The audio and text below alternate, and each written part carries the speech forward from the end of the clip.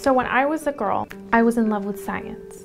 I would pursue things like science fair camp, and I was one of two girls in a class of 40 boys. It felt like, why aren't other girls doing this? Maybe I'm pursuing the wrong thing because my peers aren't in this class with me. The industry of game design is a great example where it's heavily male dominated and then we're only getting one side of the story and we're only seeing one product being produced by one perspective.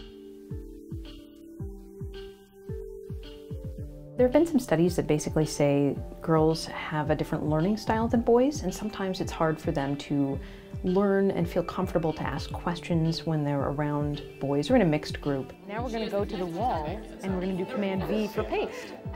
So we'll probably want to have you resize that, so we'll do Command T. The Miss Media Camp is really important so that these girls can get exposed to STEM fields. Um, STEM is science, technology, engineering, and math.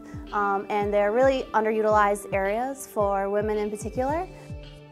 We brought in some special guests from Chicago, from all around Michigan, very strong women who have media careers. Every day we'd introduce them to a new professional person, a faculty member, and they would get to interact and learn the skills as well as have this wonderful opportunity to be mentored and learn what it's really like.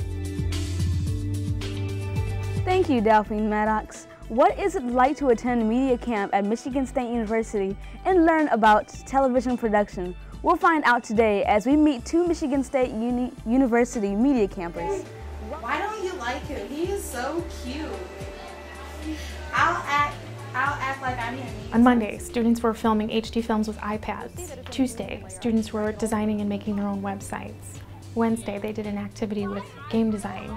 Thursday in the morning they were learning about 3D animation and did 3D printing and in the afternoon they started with television production. On Friday they did more television production and live TV recording as well as they were in the recording studios and learning about audio engineering. So if we can get more girls to see what it's like to be a game designer and developer or to have those voices and those stories be told, then I think we're going to see just a whole market explode with this creative energy that's made by having that other voice there, which is women's voices.